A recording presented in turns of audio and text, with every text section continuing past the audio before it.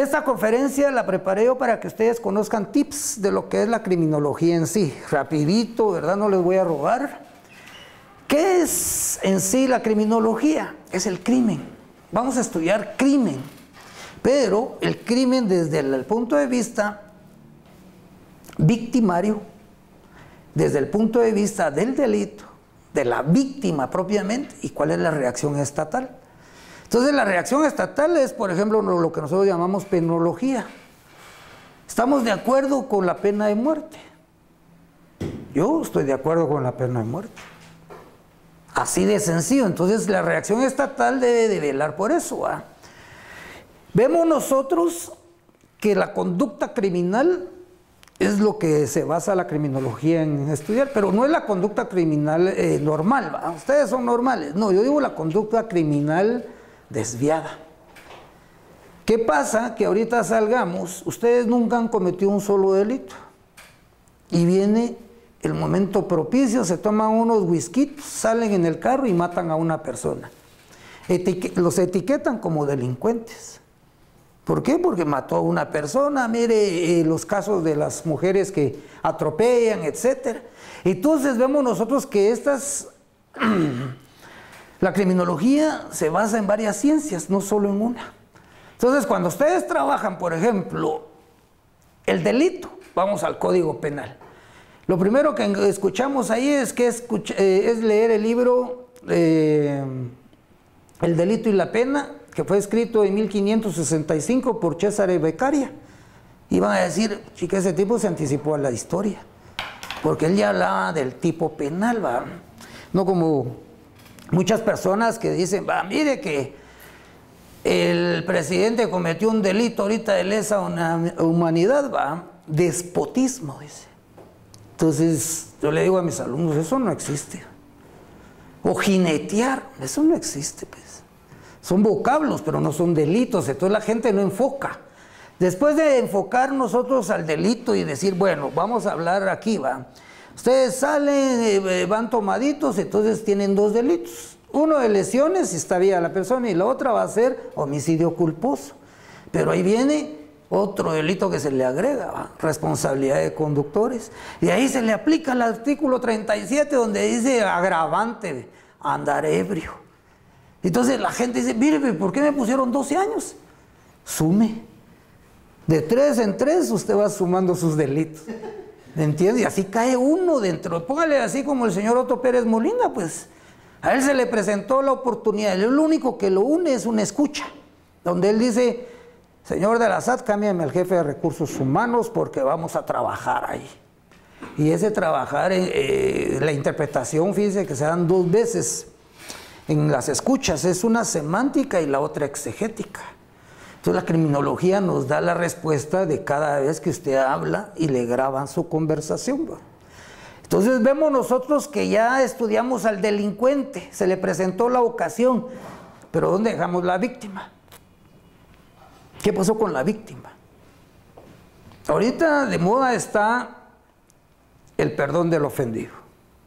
Eso está de moda en Europa. Usted va con el victimario, él violó a su hija y usted viene y le dice, lo perdono. Llegamos a ese extremo, ¿va? Es que no son personas antes de ser delincuentes. Pero ¿por qué delinquieron? Entonces vamos abundando en materia de esto. Y luego vemos nosotros que explicamos causas y motivos del fenómeno delictivo. Por ejemplo, en mi empresa el fenómeno delictivo es que se están desapareciendo, digamos, las medicinas. Nosotros tuvimos un caso así bien bonito también, ¿verdad? Y pasamos polígrafo. Pero fue interesante porque detectamos de que se estaban robando las medicinas porque teníamos adictos a las propias pastillas. Entonces, usted ve a, ese victimario que es el ladrón, pero a usted le da pena. ¿Por qué lo voy a acusar de ladrón si él tiene un problema patológico de trastorno de personalidad? Porque él se toma las pastillas. No es justo llevarlo ahí, mejor, famosa palabra va, rehabilitémoslo. Entonces, Ahí viene la dicotomía, ¿verdad? La criminología nos da a nosotros esos parámetros de decir, no, hombre, pero él no es inimputable porque es adicto a las drogas. Él es imputable, porque él sabe lo que está haciendo y el daño que se está ocasionando las drogas en el cerebro, como el alcohol. ¿Saben cuál es el efecto de eso toxicológicamente hablando? Porque uno tiene lagunas mentales. Se duermen las neuronas, no se mueren. Esa es una falacia científica. Que se duermen las neuronas, a uno se le duermen las neuronas y uno deja de tener reflejos. sí, ya estoy golo, lléveme. Entonces, ese es el problema. Entonces, cuando se hace un estudio criminológico, vemos nosotros que cómo este fenómeno electivo lo prevengo. De ahí viene la prevención del delito.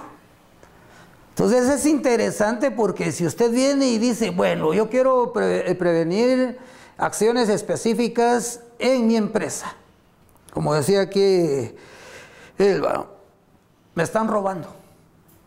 Recuérdense que si hay violencia es robo, si no es violencia es hurto eh, mediante confianza. Entonces al haber hurto mediante confianza, él solo va a pasear con el juez y sale libre, cosa de medida sustitutiva.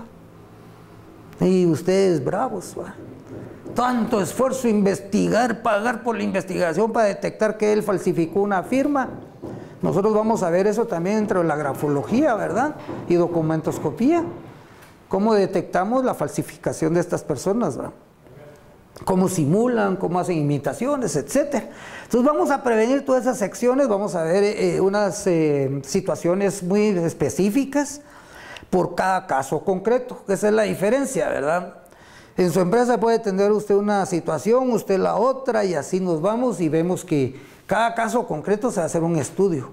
Entonces vamos a interactuar todos para poder trabajar los estudios, digamos, si él tiene una fenomenología de, por ejemplo, pérdida de, repuestos, el otro puede tener, digamos, pérdida de armas. La patología va a ser diferente. Luego vemos la reacción estatal en la criminología, pero la reacción estatal ya se está fijando en la pena. Entonces, ¿qué hizo Guatemala? Quitó la pena de muerte, pero aumentó la pena de prisión. Entonces, ustedes ven que 750 años no es nada, pero la Constitución dice que lo máximo de pena son 50 años, o sea que es una contradicción. Entonces se va a la Corte Interamericana de Derechos Humanos y van a alegar allá a Costa Rica y dicen, mire, fíjese que a mí me pusieron 150 años. Igual con 50. yo quiero que me dejen los 50, pero tienen... tienen 14, 15 años estos sicarios. Sale. Recuerden que aquí hay una situación muy interesante en la reacción. En la reeducación, rehabilitación, readaptación y reinserción a la sociedad hay una ley penitenciaria. Y es la que nos juega rudo, porque dice que el año penal, ¿cómo se computa? Dos días por un día. Dos días por un día. Así es. seis meses. Seis meses, digamos. Y antes era diez meses, digamos, el año penal, va. Ahora no, dos por uno. Entonces, si ustedes ven eso, todo lo que nosotros tenemos que estudiar en el derecho penitenciario para ver cómo va. Yo explicaba a los alumnos, a ¿cómo puedo estos verbos aplicar? Sujeto a violador y asesino. ¿Creen ustedes que lo puedo reeducar? Luego lo voy a rehabilitar con terapias, digamos, psicológicas de aquellas de, grupales. Los traigo y que miren que, que usted hizo un daño a la sociedad. Después lo readapto. Bueno, le doy una jornada laboral y lo estoy readaptando y, metiéndolo a la trabajando hombre-mujer para que ver si él sigue violador o no va. Porque ese es lo que dijo Karl Popper, ¿va? Vamos a hacer un ensayo y ver nuestro error. Entonces vengo, pasa todas estas fases y este violador asesino lo reinserto a la sociedad, lo dejo libre. La prevención de él sería la reeducación. En la rehabilitación hay que hacer test eh, psicológicos y psiquiátricos. Y si no los hice, por ejemplo, aquí va, aquí el obligado de hacer todos esos test es eh, INASIF. pero no los hacen. Entonces viene el juez y dice, ah, usted ya está reeducado, rehabilitado, readaptado y ya está, puede reinsertarse en la sociedad. Y vuelve a violar, ¿va? Patológico, pues. Sí, ya. Entonces usted viene y hace un estudio genético. ¿Qué cromosoma es el que está fallando? Así de sencillo. Entonces usted se va al cromosoma 23, perdón, sí, que es el de la sexualidad y dice, ah, ah, no, es que él tiene, nosotros tenemos normalmente XY, masculino y femenino. Pero cuando muta el cromosoma tenemos, por ejemplo, el violador tiene XXY. Ya mutó el cromosoma. Entonces, tipo va a ser violador el resto de su vida. Cuando nosotros vivíamos en Alemania, lo que allá nos enseñaban era que este sujeto, para no dejarlo libre, lo dejaban en estado vegetariano. Le inyectaban aquí en el bulbo raquídeo y le quitaban ciertas motricidades. Entonces él andaba así todo vegetariano, solo quería comer, ir al baño y ese era su fin. Era una medida preventiva. Entonces la criminología nos abre los ojos para hacer toda esta naturaleza. ¿Cómo yo puedo hacer que, ya no usen armas, que no caigan los jóvenes Pero Yo me daba cuenta, una sicaria de... Siempre cuento esta anécdota. A mí me tocó hace dos años, eh, en el 2015 fue la cuestión de la muerte de las niñas allá en el, en el hogar. Entonces me dice, mire, mi doctor, échenos una, un favor, investiguenos bien ahí. Mire, yo voy a investigar el perfil de los oxisos. De 50 oxisos, 50 tenían antecedentes penales y policíacos. Ustedes vieron la foto de la bombera. Esa niña bombero, de edad de Jalapa, Jutiapa. Linda, pero era de cuatro años atrás la foto. Ella llevaba tres calacas, dijeron Tres calacas, o sea, ya se había volado tres pilotos. Era un asesino en serie. Ah, pero nosotros poniéndole veladoras allá en el parque, va.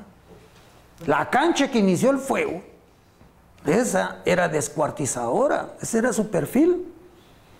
¿Cuántos descuartizados llevaba hombres y mujeres? Como 10, 15. Entonces, cuando se estudia el perfil criminológico de estos patojos y se ve por qué están involucrados en dentro del crimen. No la delincuencia, que es esa parte, ¿va? Eso lo vamos a ver nosotros diferente. Entonces vemos nosotros que aplicamos tipos de criminología.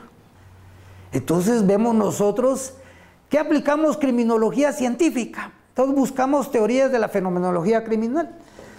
Cuando fue ese caso, yo científicamente probé y contradije al organismo judicial, porque el organismo judicial dijo de que ahí no había ninguna que había sido procesada, falso. Todas tenían de las 50, 48 tenían, ¿cómo se llama?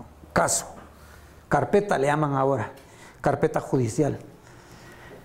Dos no, eran dos hermanas que se juntaron con ellas y que se metieron ahí al, al aula, porque ellas se habían fugado un día antes.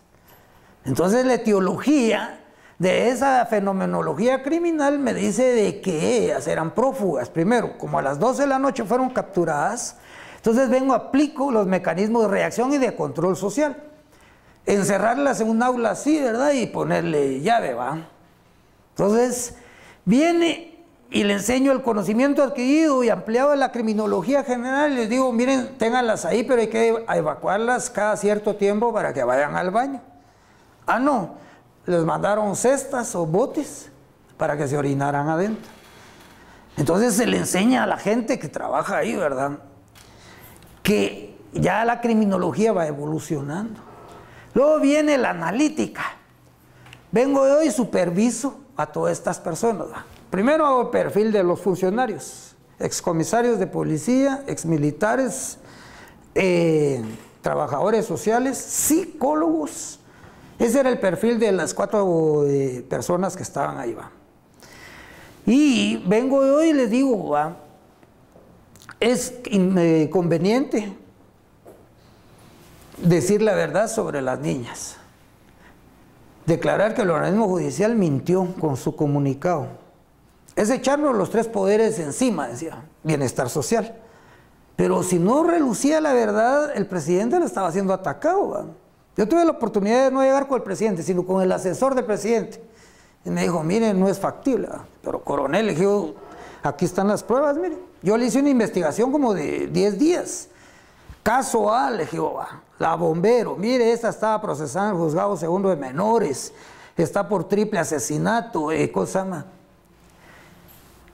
Clínicamente se estudió y se diagnosticó cómo era el perfil de cada, y cosa llama perfilar la conducta de cada persona de los muertos. Y esa es la diferencia de lo que nosotros vamos a aprender aquí. Luego viene, criminalizaron el comportamiento de estas muchachas. Sí, ¿cómo fue posible? ¿Cuál fue el único error en ese caso? que la policía que le dejaron la llave del candado se fue a desayunar y en cinco minutos eso se incendió. Todos los que manejan aquí incendios saben que el foco, en el momento de que se va quemando el oxígeno y ya queda anhídrido carbónico, es como una bomba, y más si tienen cerradas las ventanas. Entonces, cero eh, oxígeno más anhídrido carbónico. Lo que estamos transpirando todos es anhídrido carbónico. Entonces, eso provoca que explote rápido. Entonces, por eso ellos murieron en 7 minutos 11 segundos. Fue una explosión muy... Pero se criminalizó el comportamiento de la policía, se fue el secretario, la secretaria está presa. Se recuerda que la señorita rubia, gordita y todos, todos están presos, porque se criminalizó. ¿Ah? Sí, correcto. Entonces se criminalizó. Entonces viene la criminología crítica y tiene que estudiar por qué influye esto. Por ejemplo, a mí la vez pasada me preguntaron, ¿usted qué opina de las invasiones de tierra? Yo no voy a criminalizar, ese es un delito. Primero es una garantía constitucional la propiedad privada. Y segundo, la invasión de la propiedad privada tiene fenomenología delincuencial y tipos de delitos como el allanamiento de morada, etcétera. Y más si es eh, con agravantes, ¿va? Si es violento el asunto. Entonces no se criminaliza las invasiones, sino que se debe de actuar conforme a la criminología crítica y decir, miren señores, señor juez, de la orden de desalojo. Y punto de aparte.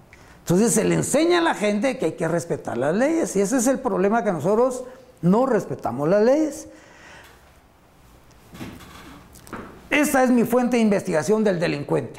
Cuando yo voy a hacer un trabajo para cualquier entidad, ya sea institucional del gobierno o privada, siempre voy y voy en este aspecto. Conducta, temperamento, personalidad y la genética. Esos son los cuatro aspectos que uno debe manejar cuando se hace una evaluación. Por ejemplo, una técnica de la entrevista. Si usted va a entrevistar la conducta del sujeto, entonces tiene que ver cuál es la interacción de él en la sociedad. Comience, ¿dónde vive? ¿Quiénes son sus amigos? Mencióname tres amigos que usted los ame. ¿va? Entonces usted comienza ya a estudiar el entorno social de él. Ah, que yo vivo solo. ¿va? Entonces ya él es disfuncional. Usted ya tiene ya lo negativo de él. ¿va? Mire, que eh, estuvo preso. Ah, sí, pero fue por orinar en la calle. Ah, entonces el libro tercero del Código Penal le dice a usted que esa es una falta y es penada. No es absuelto, sino le ponen multa. Entonces usted viene su conducta socialmente, todo el entorno. Luego viene el temperamento, el carácter de las personas. Hay cuatro tipos. El sanguíneo es el que cae bien, el que cuenta chistes, el que está ahí feliz, es el, la, ameno. El flemático, pues definitivamente es el sujeto que en este momento se ríe y después llora. Entonces le da usted tres cervezas y ya está hablando de su exnovia. ¿va? Sí, comienza a abrazarlo a uno y le tira un piquito. ¿va? Ese es el flemático. Luego viene el melancólico, ese sí, aunque usted eh, ponga la discoteca a todo volumen en la esquina, ya va, echándose su traguito y observando. Y por último está el colérico. Ese es el tipo que William Sheldon es un gran filósofo, dice, va, que los divide a estos coléricos en tres clases, va. El atleta, que es el que más mata, el amorfo, que es el gordito, que de vez en cuando mata, y el delgadito, que ese sí es que rebalsa en el vaso para matar. Entonces, ver qué clase de gente tienen ustedes en su empresa. Nos vamos a la personalidad, ¿verdad? Emociones, cogniciones, conductas. Por ejemplo, así como ustedes que manejan mucho el polígrafo, trabajan cognición y conductas. Pero hay dos trastornos de personalidad que siempre manejamos. Es el TOC, es un trastorno obsesivo compulsivo. El sujeto, si es obsesivo compulsivo, va a llegar el momento que va a matar. Imagínense un caso en una empresa de, un taller, ¿va? que venga un sujeto y le tire, por ejemplo, una llave y le pega. Y por casualidad le pega en la nariz. ¿Qué hace ese sujeto que es colérico? No regresa esa llave, tira el motor, ¿va? Entonces el colérico va a matar. Es el clásico tipo atleta que usted ve en las discotecas y usted entra y por mala suerte usted se le queda viendo a la novia de él. ¿Qué mirás? Grita. ¿Qué pasó con él? Lo va a agredir físicamente, tal vez lo mate. Y luego viene, eh, cosa llama el genético, que normalmente vamos a hablar de los caracteres físicos. Nosotros hablamos en la criminología de tres padres. César el Lombroso, que escribió su libro El hombre delincuente, pero él hizo medidas antropométricas. Él decía que el que se quedó en el eslabón, cuasi mono, o sea, que tuviera, digamos, el arco cigomático saliente, las orejas de coliflor, la nuca corta, eh, la quijada larga, era propicio a ser delincuente. Entonces vino Rafael Garófalo, que es un sociólogo, y dijo, no, es el ambiente en el lugar, los padres disfuncionales, divorciados, etcétera. Este tiene tendencia a ser asesino. Me gustaría que leyeran la obra esa de una página, es el, eh, ¿cómo se llama? El Petit Sobrejú. Argentina. Sí, es Argentina, el Petit Sobrejú. ¿Cómo él se combinó entre todo esto? Padre alcohólico sifilítico, madre prostituta alcohólica, nace él Imagínense, no les cuento lo demás y no les quito la emoción. ¿A qué año comenzó a delinquir? Entonces vemos nosotros que ya tenemos que ver los caracteres físicos, bioquímicos o de comportamiento de generación a generación. Los bioquímicos, más que todo es, por ejemplo, aquí los que han hecho disparo de arma de fuego. ¿Qué es la sensación que sienten al principio? Adrenalina. Entonces, solo tener el arma, usted ya comienza con su memoria muscular, comienza con la tensión muscular de sus... Luego que el instructor le dice que ponga la, esto, pero usted lo que está haciendo adentro es endocrinológico, es bioquímico. La adrenalina va a estimular una hormona que se llama dopamina. Esa la tenemos aquí enfrente. Y la dopamina se irradia sobre las neuronas y usted se vuelve violento. Hay detonantes bioquímicos, por ejemplo la marihuana. Querían legalizar la marihuana, yo me opuse como académico, que la marihuana hace un daño terrible, ocasiona epilepsia en las personas, pero no es aquella epilepsia de, ataques, no de perder la razón y se vuelve violento y comienza a matar a la familia. Ustedes conocieron el caso de aquel chino Chao, Chao, en el 2008. Mató a su mamá, a su papá y a sus tres hermanos. ¿Y cómo estaba él en un estado psicotrópico con alcohol? ¿Qué significa eso? Marihuana, cocaína y cervezas.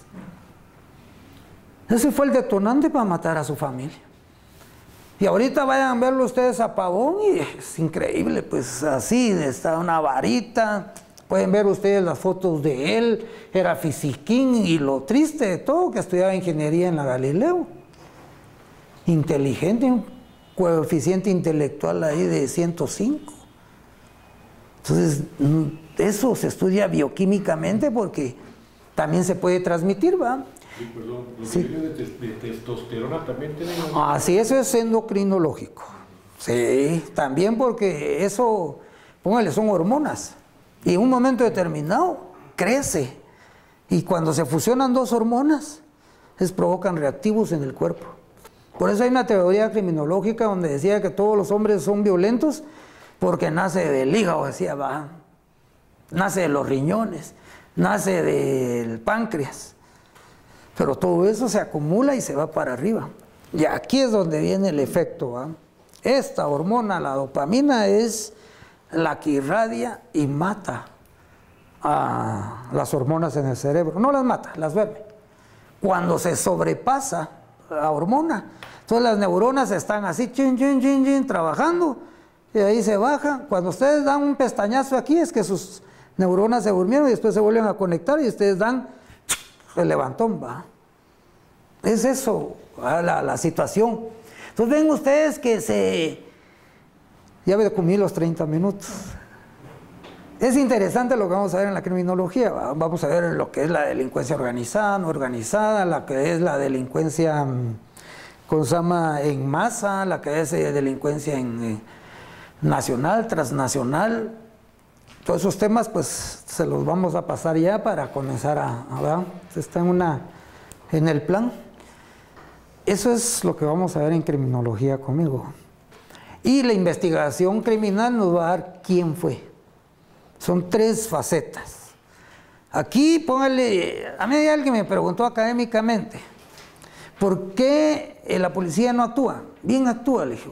Primero, la policía investiga quiénes son los delincuentes, pero para extorsionarlos, no para aprenderlos. Entonces, esa es la diferencia. Entonces, los policías, los comisarios viejos se quedaron cortos de conocimiento. Viene una nueva camada en los 90 porque la criminología es una eclosión de 1980 para acá en Guatemala. Ya comenzaron a salir criminólogos, etcétera, y que estudiosos. Luego se juntan las facultades, digamos, en las universidades y comienzan a dar criminología y criminalística. Pero comienzan a dar un porqué, pero no un cómo y cómo investigar. Ahí hay otra ciencia que se llama policiología y la policiología es toda la metodología estratégica, táctica y técnica para que usted descubra, por ejemplo, el robo en su empresa. Entonces, ese es el final, lo que el esquema que yo les voy a dar de una investigación criminal. Policiología. ¿Por qué? Porque usted va a decir, ah, pero ¿para qué me sirve el polígrafo? A mí me sirve para, mire, le estoy honesto, el cliente principal allá del IX soy yo. Nos tiramos 10, 15, 20 polígrafos porque yo confío en esa prueba, pues. es de fiabilidad. Entonces, yo les agradezco su atención aquí breve y concisa y vamos a trabajar sobre eso cada jueves, ¿no?